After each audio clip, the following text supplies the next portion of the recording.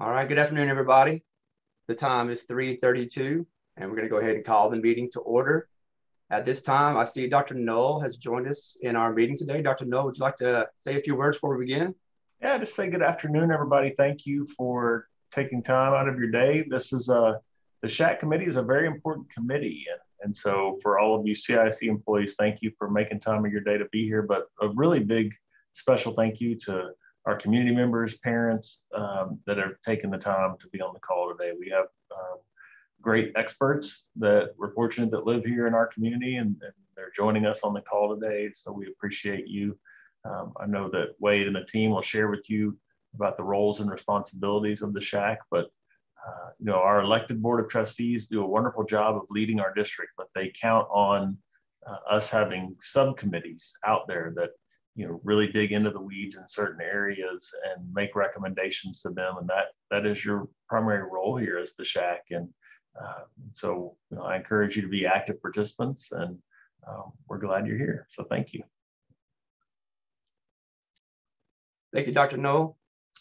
I'd like to take a moment also to thank all the returning members this year. Thank you guys for being a part of this and volunteering your time and joining us today um, you know, we did a lot of work last year. This work, this work will continue this year, and I really appreciate all of you who were with us last year and with us again this year. But I do want to take just a few moments and welcome some new members to our group this year, uh, some of, of whom have participated uh, in the past and are rejoining our SHAC this year. Uh, not everyone may be on the call, but I'd like to announce their names anyway because you may recognize several of them. We have Michelle Scaife, uh, Extension Agent for Better Living for Texans, Texas A&M AgriLife. Jill Barrera, Senior CSR QC Tech with Maximus Texas Health Steps. Uh, Erica Alleman, Nutrition Education Coordinator, Montgomery County Food Bank. Captain Matt Blakelock, Conroe ISD Police Department. Lindsay Taylor, Conroe ISD Mental Health Specialist. William Kelly, Principal Headmaster, Academy for Science and Health Professions. And we also have Marie Ashby, Katie Quarles, and Kaylin Harrison, students at the Academy for Science and Health Professions. They're going to be our student representatives this year. We're very proud and happy to have them with us and welcome guys. We appreciate all of you. Our first item on the agenda will be the approval of the minutes from the June 17th SHAC meeting. A draft copy of the minutes was distributed through the email to all members of the SHAC prior to today's meeting. Are there any corrections to the minutes?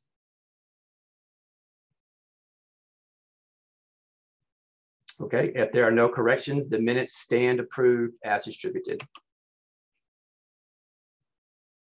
The next item on our agenda is a presentation on the purpose of the SHAC presented by Dr. Shelley Winkler, Assistant Superintendent for Elementary Schools. Dr. Winkler? Well, hello, everyone, and thank you for joining us today. Um, as um, Mr. Haymark and Dr. Null said, the SHAC committee is a really important committee, and especially this year because we've got um, some things to look at with our curriculum. And so it's going to be really important um, that we have um, all of you as active participants. So you joining us today uh, is very appreciated. so before we start, we wanted to make sure that you kind of understood um, what SHAC um, did or, or, or, didn't do and what your role is in SHAC. And so I have a, a quick little presentation. Some of you may have seen it before. I will warn you ahead of time there is a video in there. There's not many videos on SHAC participation, believe it or not. So this one is a little dated and it is from Texas. So you will see some obligatory Texas hair in there, um, but it's still really uh, good information that um, I think that you'll appreciate. Um, and we'll go through to, uh, some of us are voting members and some of us are not voting members. Um, some of us like uh, uh, that uh, that you see on the screen, those are people that are meant to be experts um, when it comes to SHAC. Um, and so we'll make sure over the next few meetings, you know who um, who is a voting member and who is not, um, so that when we go to vote on something, um, you'll know whether you're supposed to raise your hand for yes or no. So I'm going to go ahead and share my screen. And start our little presentation today. And I am in school, and so if you hear children in the background, um, that's okay, or teachers, that's okay. All right. So again, uh, you are a part of the School Health Advisory Council, and we refer to that as um, the SHAC. And so sometimes you will hear that referred to as the SHAC Committee. Um, and here's a little video. This is the video I was telling you about that we're going to show um, about some SHAC committees over the state of Texas and what they um, have done in their own communities. In Northeast ISD, our School Health Advisory Council, or SHAC, has been very um, instrumental in changing policy, supporting recess policies, um, looking for more opportunities to improve nutrition on the campus during the school day, as well as um, improve activity opportunities for our students. So, through policy and um, positive influence on our PTAs and stuff, we have seen fundraising at some of our schools become only um, about activity rather than food based. So those are some really positive changes that have occurred due to our SHAC's involvement. When I first got there, wellness wasn't well defined, so that was kind of the first thing we did was set out and said, okay, so what are we going to talk about when we talk about wellness? And so we put in a vision for wellness and, and a plan to achieve it. And what that's led to seven years later is now we have subcommittees based on those areas that we defined as good for wellness. What I would like other school administrators to know is that a SHAC can be very, very helpful. It's not just another meeting that you're required to have by law. It's not just another organization that you have to deal with on a regular basis, but it's actually something that can help you and benefit your district and your students. We all believe that children's school health is important. We know that healthy kids make better scores on tests. We know that healthy kids make better learners. We know that physically, emotionally, and mentally healthy kids are happier and, and more well adjusted children. So we all know that it's extremely important for us to dedicate time and effort to that, and that's how a SHAC can, can help your district. I think the SHAC, like a lot of different SHACs, um, benefits the students by providing a voice from the community. There are mostly parents on our SHAC, so they're uh, are aware of what the problems and the issues are in the schools and what topics need to be brought forth. Um, there are a lot of concerned parents who uh, have had those discussions with their students, and they know what's wrong with the recess policies in their different elementary schools, or uh, where the school lunches are failing, or where they're succeeding, or what we need to do with the different health education models. So, I think that having a strong parental uh, involvement in the SHAC uh, through the appointments from the school board has been a great benefit to our students. We have members from all walks of life in our SHAC committee that give us the exposure to all the members of the community, what their thought process is, what the challenges, and student involvement is the big factor that I think because we are there for the students. And if we listen to them and if we come up with a solution, that's what makes SHACs what we are. So I think that's the biggest achievement that we are looking into and hopefully will able to conquer it more and more every day, every time. We've had a lot of, of um, benefits provided for our students um, in areas of curriculum, uh, programs, access, uh, staff development coming in, uh, helping um, uh, to train our teachers. Uh, and then this year, one of the things we started was student wellness team so that we could start building leadership in our students to manage their own um, wellness. Students have challenges with the food that are being served in the cafeteria. And they wanted to bring the Subway sandwiches into the cafeteria, but because of the cost involvement and the numbers, uh, we cannot bring the Subway because of the that percentage that we have to pay on every sandwiches. But what our food official, uh, Judy Houston, did, that she got a chef from New York, and they are making a special sandwiches that are emulating just as a Subway or even better and that's going to be rolled out in the spring season and it's going to be marketed with the help of the students and they are told to come up with the cool name to attract the student population and that's their that's their idea that we just borrowed it and now we're going to implement it all over the school district in middle and high schools in Corpus Christi. Interestingly enough, the way students got involved in my SHAC is members of the SHAC would bring their kids to meetings. And so initially we did not have any students on our SHAC. But after ball practice, one of the parents would pick their child up and bring them in. And so I would gather those kids up around the table and ask their opinions on things too. And so it was an informal process at first. Now we usually ask for volunteers, and the counselors at the high school usually get me a high school student. And occasionally we'll have an elementary student show up too. And so that's always fun.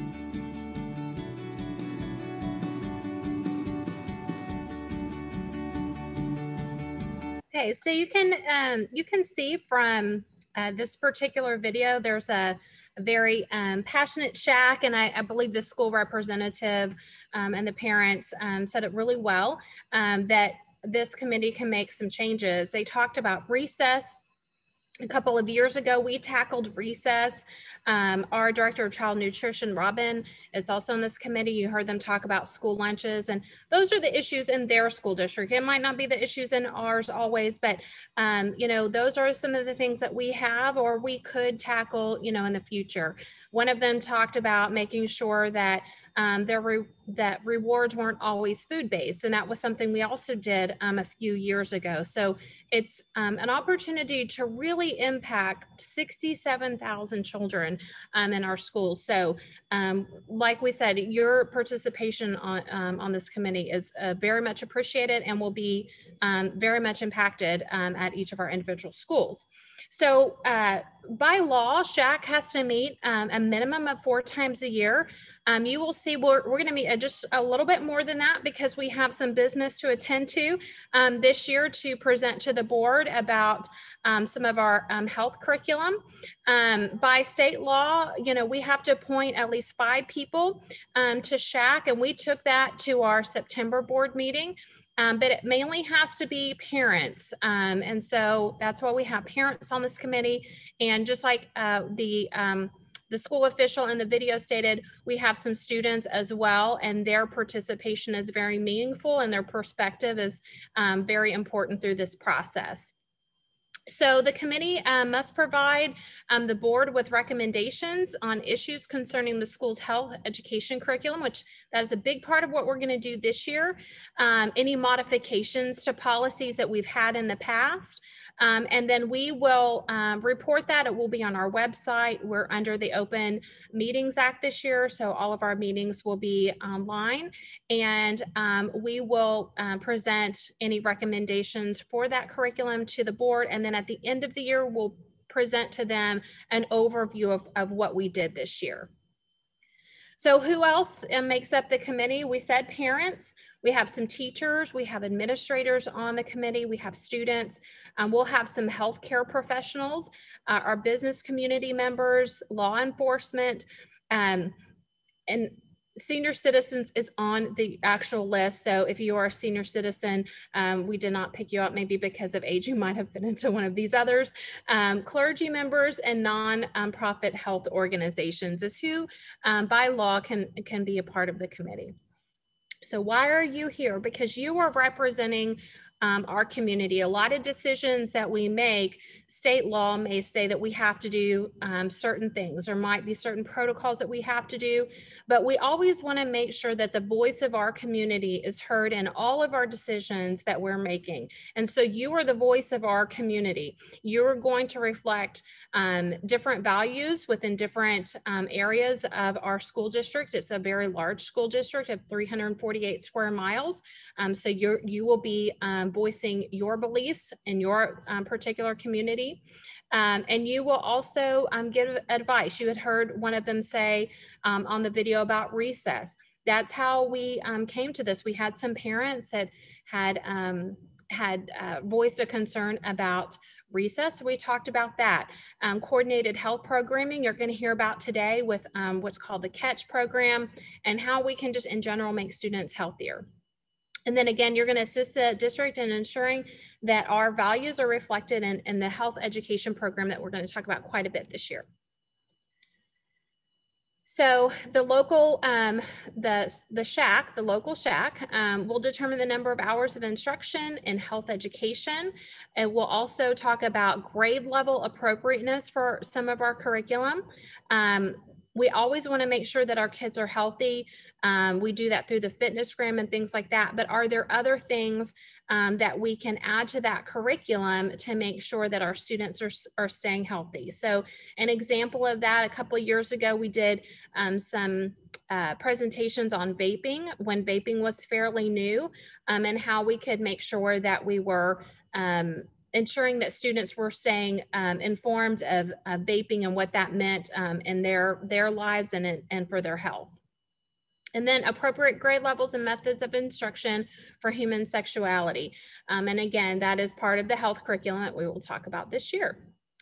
Um, so at the meetings um, today, we're going to nominate a chair, um, and the chair and Mr. Haymark will always call the meetings to order. We're going to um, review and then ask for approval of um, uh, minutes from the previous meeting, kind of like you would see in one of our local school board uh, meetings.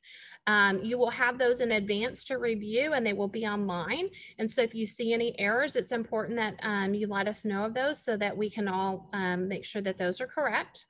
And then agenda items are going to be um, informational. They could be community outreach um, so that we're making informed decisions. So some of our presentations might not require any action, but they're setting us up with information to make some informed um, decisions.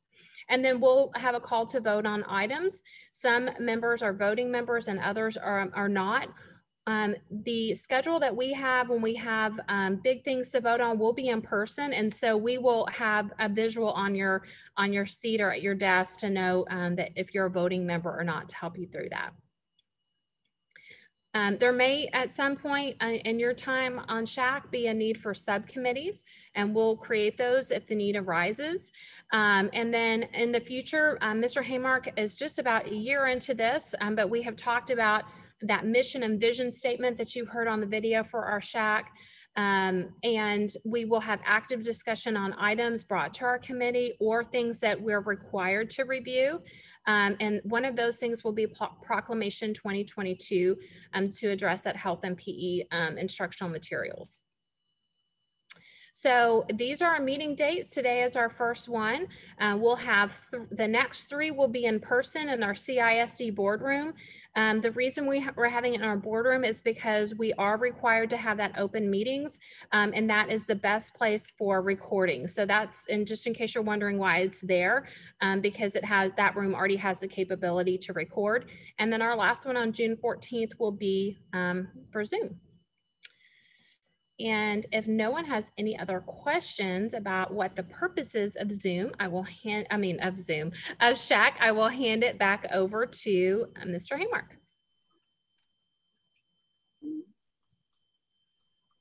All right, thank you, Dr. Winkler. Uh, very good explanation of the purpose of the SHAC. Um, and as Dr. Winkler mentioned, uh, one of the state laws, one of the requirements of the SHAC is that we nominate a uh, parent to serve as co-chair for the SHAC. So with that, nominations are now in order. I'll begin by nominating Mrs. Misty Westover to serve as co-chair for the SHAC. Mrs. Misty Westover. Are there further nominations?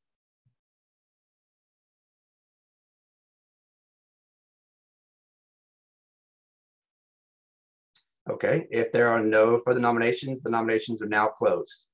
We're going to vote now. All those in favor of Mrs. Westover for co-chair of the SHAC, please type yes in the chat.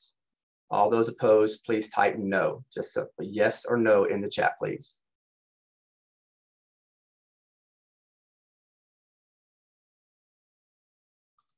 I'll pull it up to monitor.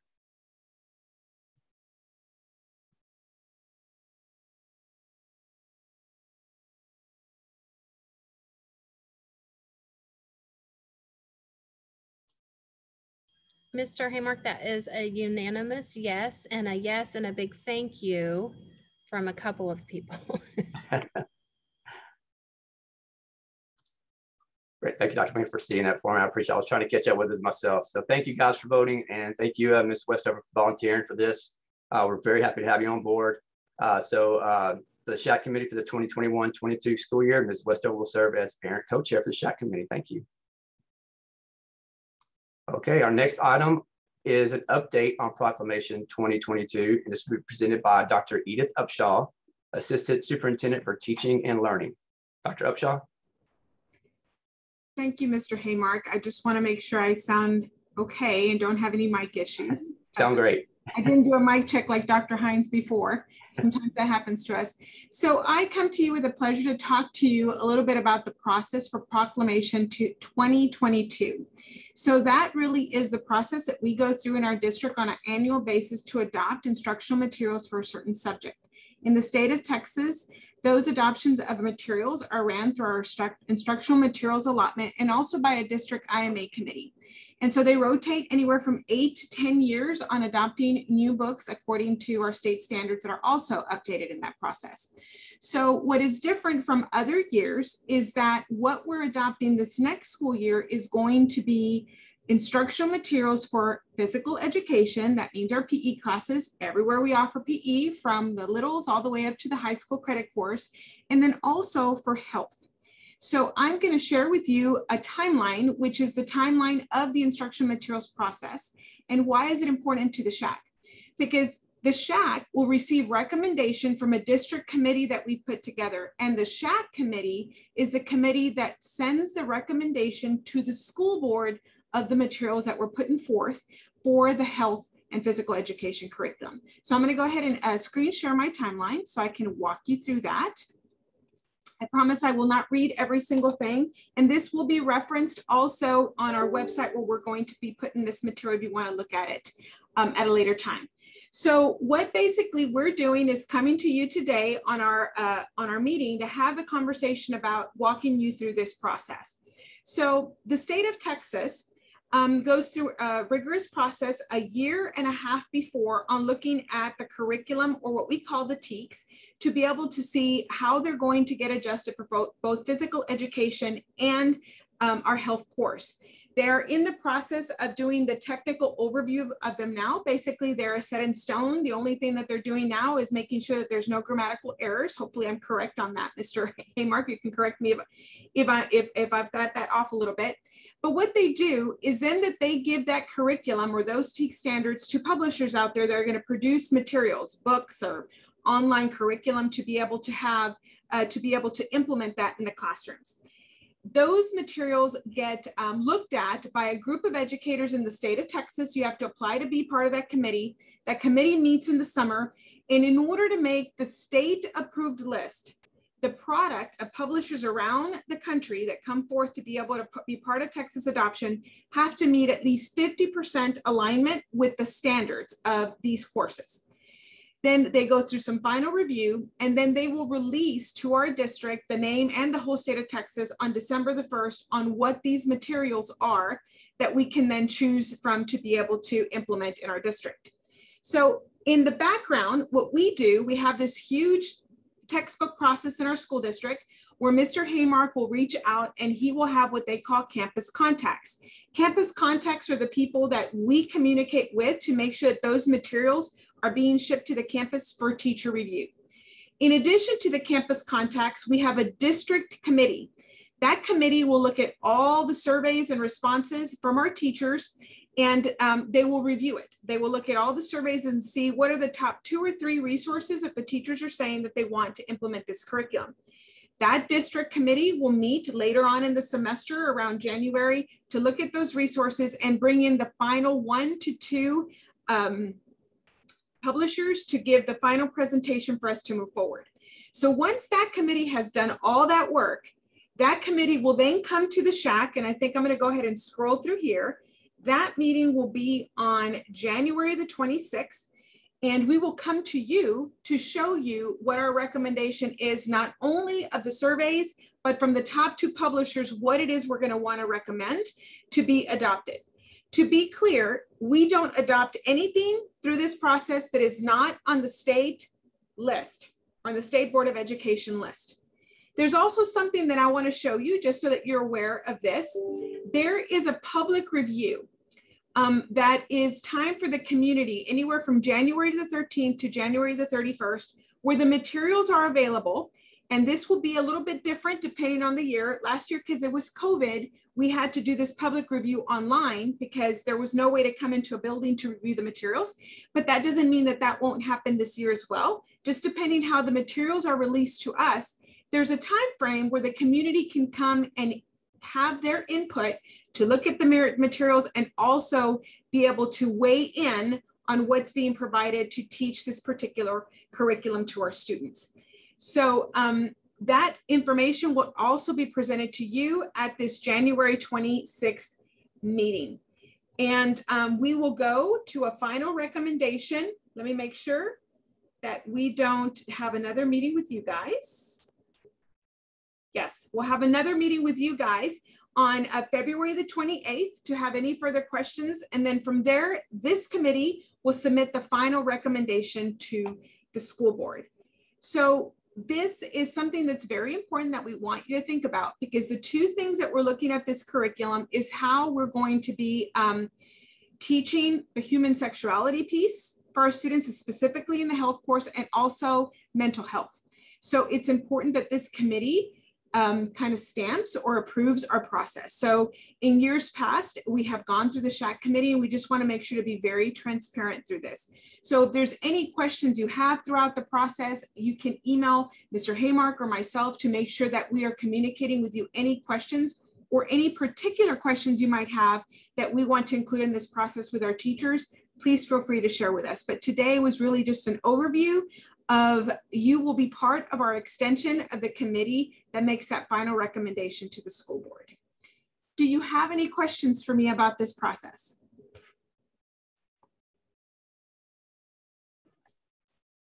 Um, I have a question. This is Bryce Lear. Um, are the members, you know, you said you guys get down to two different um, publishers, if you will, of, of specific um, curriculum when you for the people who select those final two um, publishers to be presented to the SHAC um, do we is there a full conflict of interest disclosure amongst all of the people voting on those last two um, publishers that get presented to our committee where um, we're identifying any potential conflicts of interest Actually, we do have that meeting, and that's coming up on November the 8th. We have uh, district uh, guidelines for campus contacts and district committee members.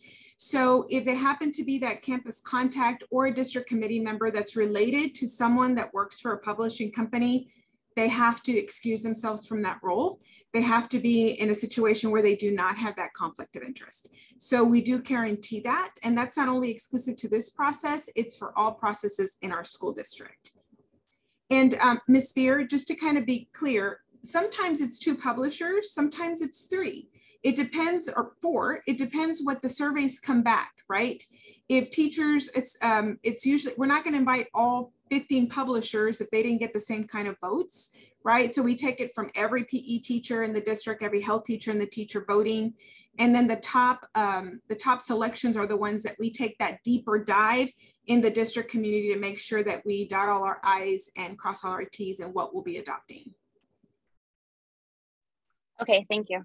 Absolutely. Thank you for the question.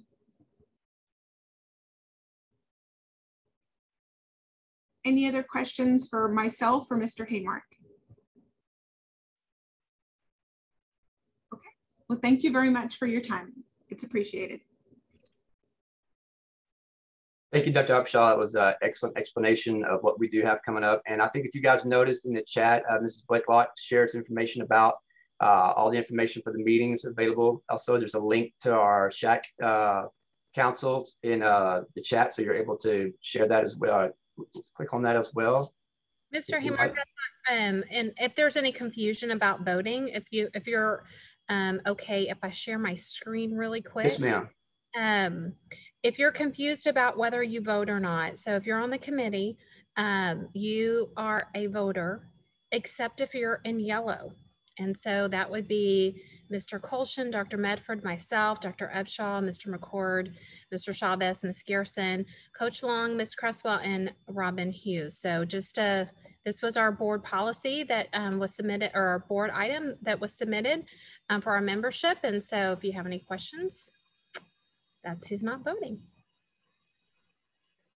Thank you, Dr. Winkler. And also, uh, we've updated our list of membership as well on the SHAC website, on Conroe ISD website, and it's also listed there, voting members, non-voting members as well.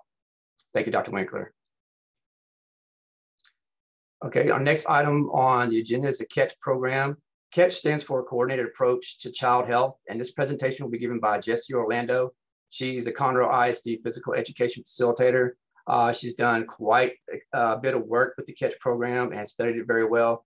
Uh, so you guys know we have uh, purchased a license for all of our elementaries and K through six campuses so far this year uh, to institute CATCH on their campuses. We've also purchased materials for them. So that has been distributed. Uh, but uh, Coach Orlando is, does a wonderful job with this, and we're looking forward to our presentation. Jesse, if you're ready. There we go. Okay, now you can hear me, right? Yes, okay, thank you, Wade. So hi, yes, my name is uh, Jesse Orlando, and I'm uh, also a coach at uh, PE coach at Bradley Elementary, and I'm also the district PE facilitator. And um, I call myself a biggest advocate and passionate about Catch program. Been teaching it since uh, 2013. So um, very excited to share with you. Let me uh, share the screen.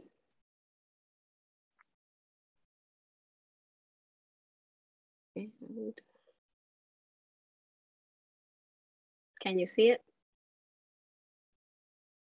Yes, perfect. Okay, so uh, like uh, Wade said, uh, CATCH stands for Coordinated Approach to Child Health. It's new and improved. We had a new um, an improved meeting on the 21st of September of this year. Uh, it was very exciting to see all these new things coming for us because it's amazing. So let, the overview is what it is and what it would look like. Um, I'm just gonna say that um, I wanna review a few slides uh, before we head into deep into catch. So you can see in the red uh, map that, uh, you know, the numbers are showing that, you know, obesity and overweight, it's just a trend in the America. Let me see. Oops, there we go. Um, it's also published in an article in 2019. Uh, it said that if America continues on this trend, by 2030, half of our population will be considered obese. Now, the part that I always uh, get a little sad is that childhood obesity, um, it's also a trend in the children. So we can see that 19.3% uh, of our kids are affected. Now, on, sorry. And this um, the, uh, chart right here, I just want you to look a little bit that in the 70s, the trend was that only 5% of our children, um, you know, were in the statistics. But from like 20, 30 years from there to now, we're seeing numbers that are like in the 17, 19%, that triple from the 70s to right now. And um, the question when I ask, even I will ask this to the students, what happened? What's the difference between, you know, back in the 70s to the 2020s? And it's that kids are now more sedentary. They're watching more TV, video games uh, at home. Now mom and dad work. So most of the time mom is in a hurry. So we're eating more processed food, less, you know, whole food all of those things are you know the reasons why all these things have changed since you know like 30 years ago um let's see so that's where it brings us to catch and why this uh, program is so amazing. And it's amazing that our district you know has this curriculum to teach. So catch stands for coordinated approach to child's health. Catch is a whole child aligned resource for creating and maintaining a healthy school environment because if you change the environment behavior will follow. And and that's like my motto at school. I encourage everybody in the school all the adults all the staff to be the model you know for our children. Now why catch? Um, i'll say because it works. It really works. I started catch in 2013 and um, i implemented it at sam houston elementary. That year we uh, we got a grant from United Way and also the Living Healthy Montgomery County.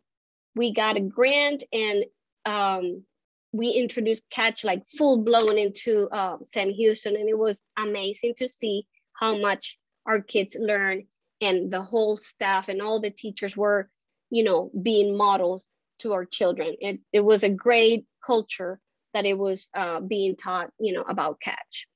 So um, you said, okay, well, why we want to introduce all these health things? We all know we're on the SHAC committee, but we know that better, you know, you will see better academic performance when kids are healthier. You will have better behavior if kids are healthier.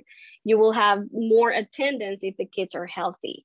So um, I'm gonna say I read it on a article that you know just by having healthier kids, you can improve 10% of the you know a standardized test that the kids take in school just by eating a healthier breakfast, just by being active, you know, every day. All of those things um, improve their academic, their behavior, and their emotional state in the in the school.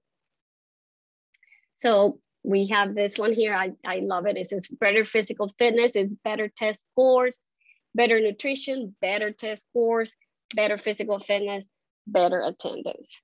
When I talk about attendance, I'm, I'm always saying, yes, if your kid is healthier, more likely the kid will go to school because they don't get sick as many times, you know, when the kid is not healthy. So what is the goal of uh, Catch? The goal of Catch is to be a, you know, to turn your school where everyone is working together, everybody speaks the same language, the same vocabulary that creates and maintains a healthy school environment. The whole child approach, it's a new, um, it was a new and improved, you know, in September it was uh, included. Um, it's an effort to focus on the long-term development and the success of all children, where they talk about, you know, the community, the school, the family, everybody is involved in the long-term development of our children. When we speak about the language of Catch, uh, Catch blends uh, the coordination through a campus by using a common and consistent language. You will see that our schools will have all these beautiful and updated um, posters around the school they're going to be talking about Catch MVP, Go Slow Whoa Foods, uh, Mind, Heart, and Body. That's also a new and updated part of our program because the social and emotional learning of our kids is also important. Um, let's see. Now, let's talk about MVP. So the MVP aims to achieve healthy behaviors and positive outcomes in the following areas. Uh, most of us are very familiar with MVP. Everybody knows most valuable player. But in our catch program, we talk about MVP, about uh, being an PE MVP, for example, it means M for move and stay active, V, value healthy eating, P, practice healthy habits. So when you become an MVP, is because you probably got caught in the school with a great, great healthy lunch during lunch, uh, you know, in the school, or maybe we saw you that you were choosing water instead of a sugary drink uh, you're, you know, or you practice healthy habits. You tell us, oh, coach, this weekend I, um, I have a game, you know, we play football. All of those things we kind of like continue motivating the kids to be active, to value healthy eating, to practice healthy habits. And that's how they earn to be an MVP. Also teachers and staff, um, you know, everybody can be an MVP. And what I love about this is that when you include the teachers, when you include the the administrative stuff on the board, they get excited when they see their pictures like, oh, you know, uh, my teacher's an MVP because, and then, you know, I write on it like why they're an MVP. So all of these things are very motivational and, you know, a learning uh, model for the kids. Go slow, whoa. It's a, it's a vocabulary that has been around in the district for a while because, you know, catch is being revamped but uh, kids know and differentiate food store go, food store go, uh, slow or whoa. Um, I always, you know, compare it to the traffic light, and I always say, say everything that is green is a go food, and that means go. It's healthy.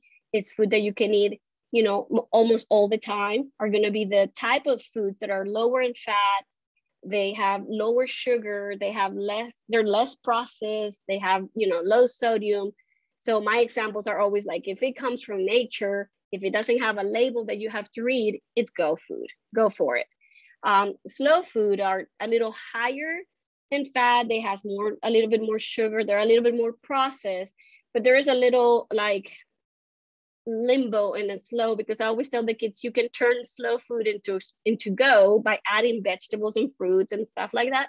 But it's the little tiny, you know, thin line to turn it into whoa because you can also turn your slow into a whoa by just you know adding more cheese or adding more things that are not you know low and fat or sugar or sodium. And then whoa are foods that are really, you know, not the best are I call junk food pretty much. It's food that is like more processed, fast food, food that is super high in fat, added sugar, they're most processed.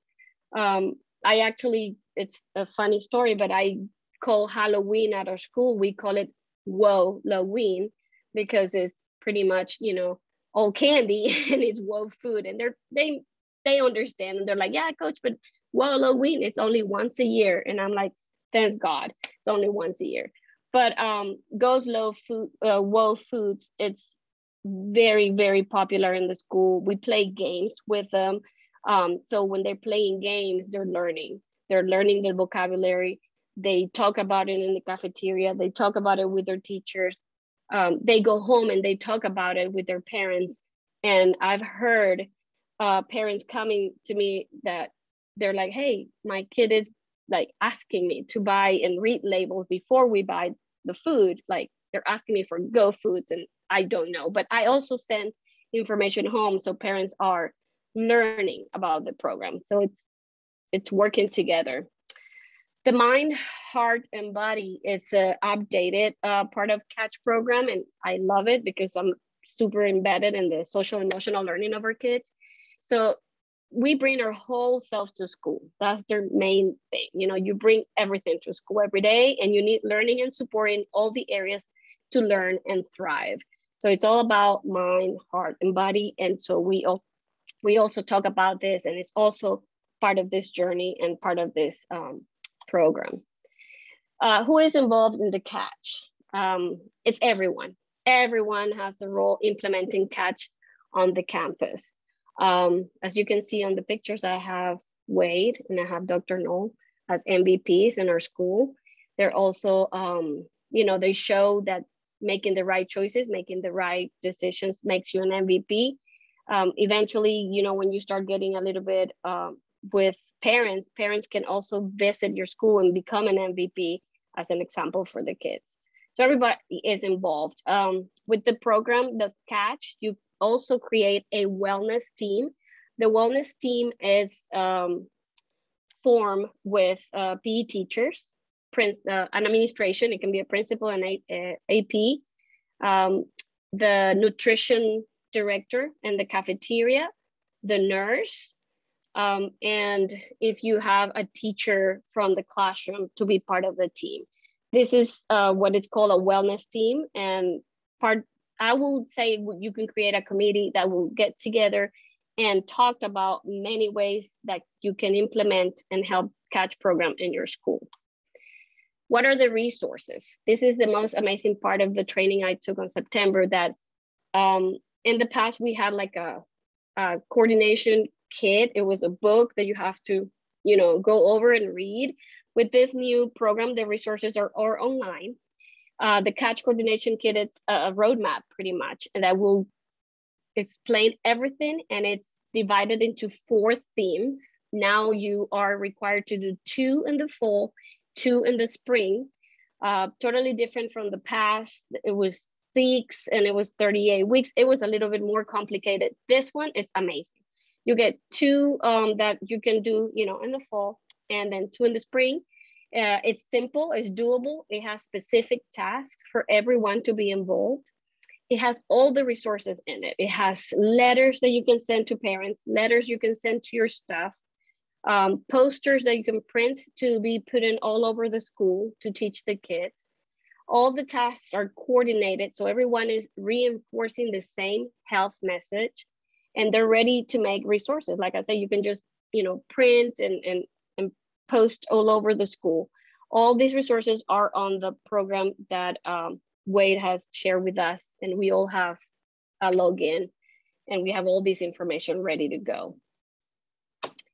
Um, it takes everyone working together. Uh, like I said, um, even teachers, if the teachers choose to drink water in the classroom instead of soda, they're given an, you know, they're doing something for the program. They're giving the example. They're walking and talking what we are preaching about catch. And so it takes, you know, everybody in the school and for the teachers that implement it, we have now this resource that it's ready to go, ready to um, you know be implemented and very easy to follow. These are a few uh, pictures of the catch kickoff that we had at Bradley Elementary. It's a whole week of a spirit week. Everybody was talking about being healthy, the future, being part of a team, drinking water, go slow, whoa, being an MVP. Um, you know, your mind, your body, and your heart, it's part of, you know, who you are, and you need bring it to school and you need to be healthy in every area of your life. And so all of these things are being taught across, you know, the district and they're amazing. You'll you'll see lots of uh, great results on the catch program if you have questions.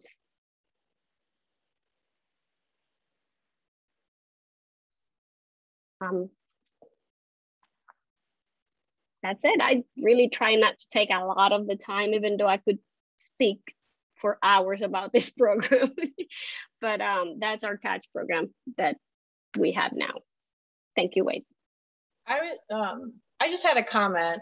Um, you know, that was a great presentation. Um, Thank you. I, I see that, you know, I'm, I'm in pediatrics, so I see this and, you know, we're also seeing increasing rates of like diabetes and um, specifically not necessarily type 1 diabetes, but type 2 um, in children because of the obesity, you know, epidemic. And it's definitely something that the American Academy of Pediatrics is advocating for. So I think that this program um, is a great way to do that because um, you have to start, you know, the foundation starts when they're young. Yes. Um, and knowing like what to eat, what's healthy, what's not healthy. Um, and it's more than just, you know, the food groups. I feel, you know, it's about knowing what food, you know, what you're getting from the, the food and if it's good or bad for you and the process processed food and all of that. I think all of that's really important. So I'm glad that um, you know that's discussed as well. Yeah, we love the program, and yes, the kids they are little sponges. They learn and they go home and they share with their family. And sometimes, you know, like we said, parents now they both work, they're busy. Sometimes it they go the easy route, but if the kid comes home and it's teaching the parents they also they're like oh i didn't know now i can make a more educated and healthier version for my kids because my kids are asking for it and so yeah that's that's the goal of this catch program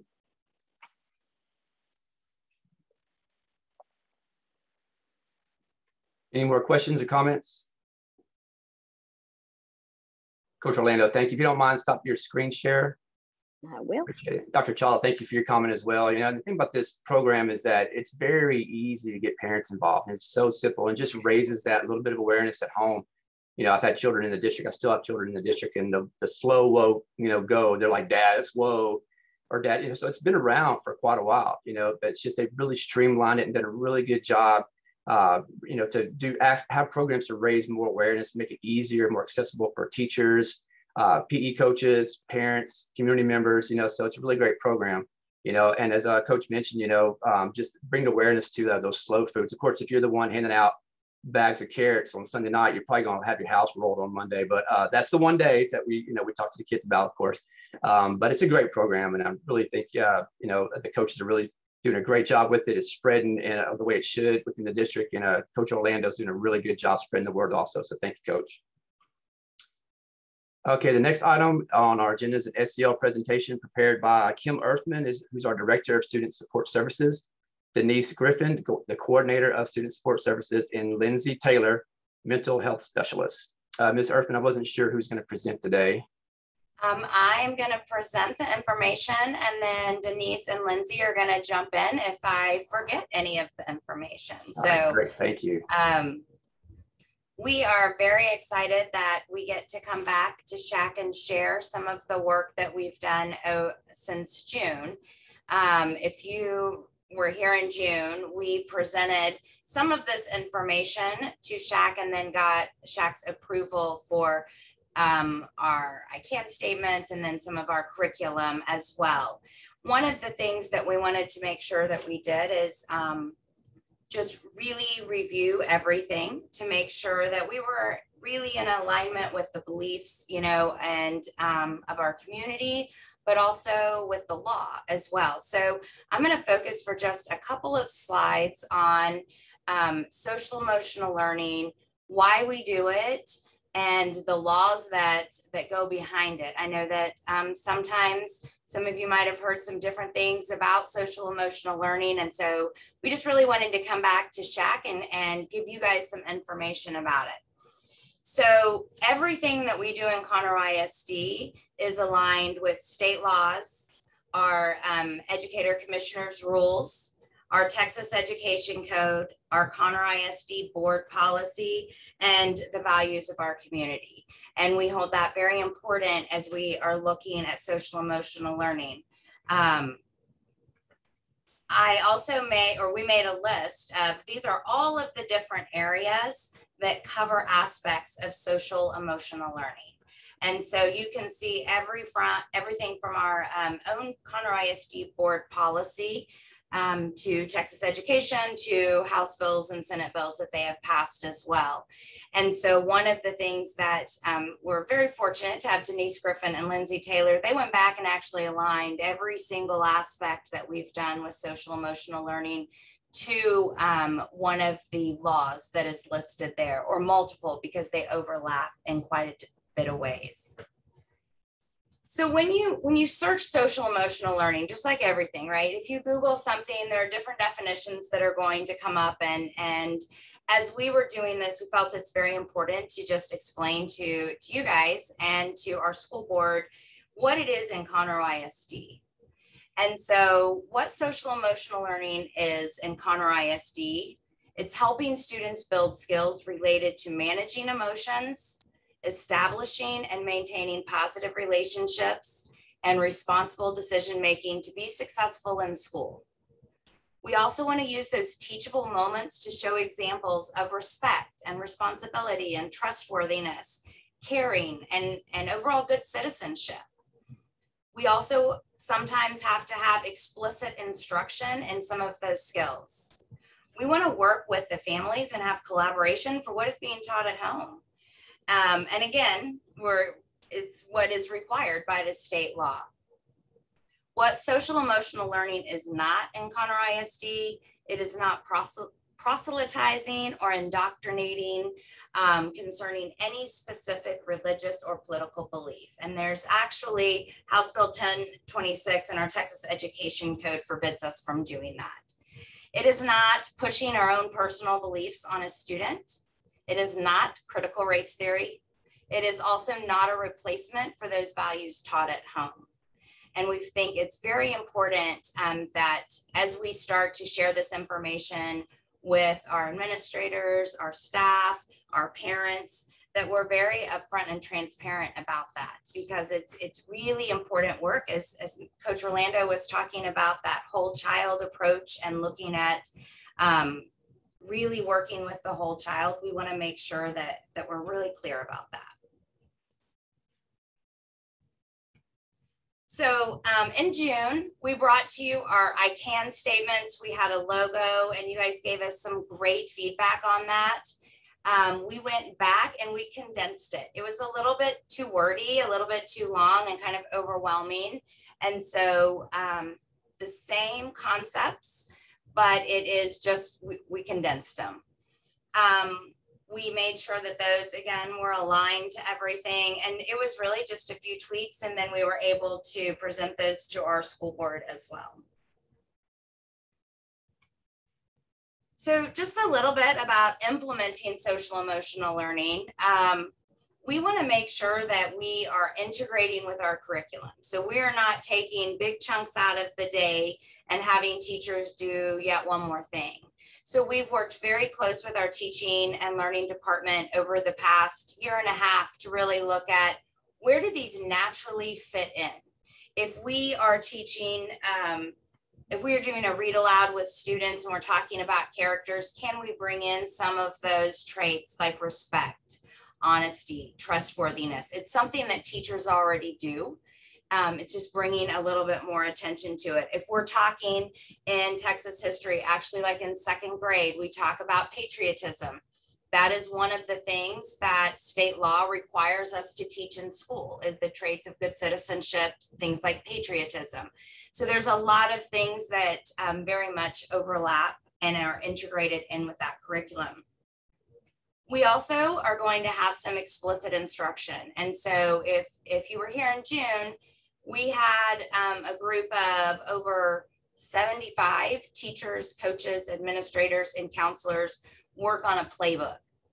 And so one of the things that we've been doing since then is reviewing all of the lessons, reviewing all of the suggested resources, all of the books, all of the videos, and having multiple people review those. Um, so we can make sure that we're putting the, the best thing forward for our teachers to use in the easiest way possible.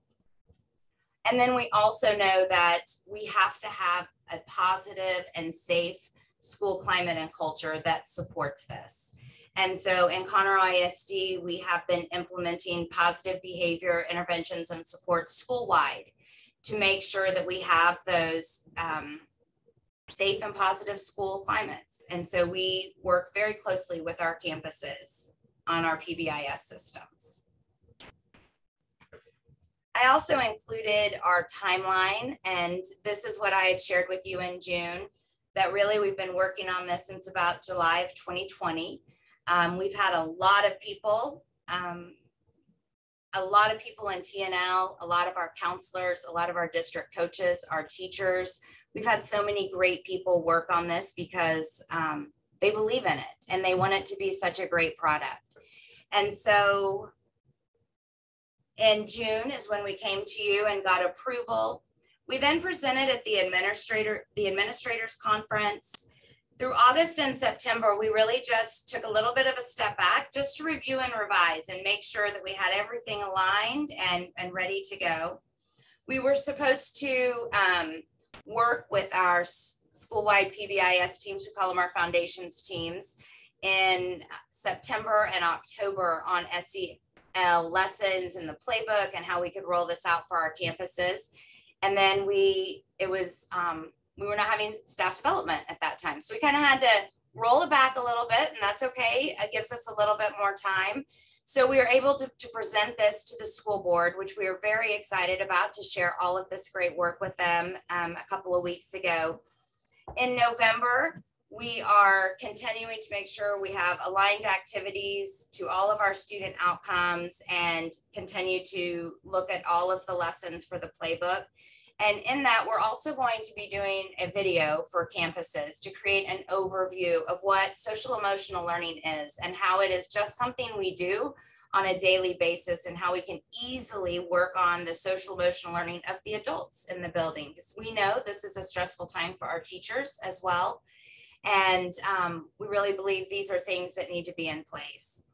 In February, we'll pull our foundations teams back together, which we're very excited about. And when we do that, we will um, work with each individual campus on what is the best plan for them to share this information with their with their teachers and how is the best inform best way to start working on this on their campus. And so it will be very individualized um, for all of our campuses, but we're super excited to get to move forward and um, share that information with them on social emotional learning.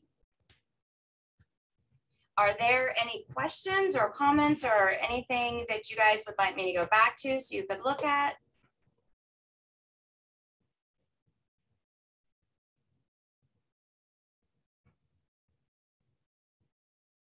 Okay. Lindsay, Denise, do you guys have anything to add? No, you did a great job. Okay. Those two ladies have done a lot of work on this and um, we are very lucky to have them in our district. So um, thank you very much for letting me come back and update you guys on social emotional learning. If you have any questions, just please let us know. All right, thank you, Ms. Earthman. And just to, to reinforce what she said. Yeah, Miss Griffin and Miss Taylor, uh, they do a wonderful job as well. Miss Earthman's team is fabulous. They do a really great job. So thank you so much for the work that you do every day as well. All right, the next item on our agenda is future topics and meeting dates. Uh, we'll continue with the updates to Proclamation 2022 uh, at our meeting on January 26th. And now Dr. Upshaw kind of outlined this for you. And by the way, just as, as, a reminder, these this information will be posted online as well. So timelines, presentations is all available to you uh, within the next several weeks, uh, several days. This will all be online for you to look at as well. And of course, if you have any questions anytime, you give me an email, I'll get right back to you. Uh, we're also going to have a final review uh, and selection of the instructional materials at our meeting on February 28th. And again, this will all be posted in our meeting uh, minutes and the draft will be sent to you prior to our next meeting for you to review. Uh, we're also going to continue with calendar invitations and with the reminders for everyone as well. So we'll have all those for you as well. Uh, I just I do want to take a moment to thank uh, someone's kind of behind the scenes, Sarah Blakelock with the Communications Department. She's the director. Uh, they have been fabulous to work with with all this, uh, the changes to the SHAC meeting. Uh, she has an amazing team. They've been very patient, very flexible, and we really appreciate that group as well. So thank you, Ms. Blakelock. Okay, with that, we have reached the end of our agenda. The time is 4.33 p.m. If there's no objection, we'll now adjourn the meeting. Okay, hearing no objection, this meeting is now adjourned. Thank you all so much for being here today, guys. We really appreciate you, and we will see you on January 26th. Thank you so much.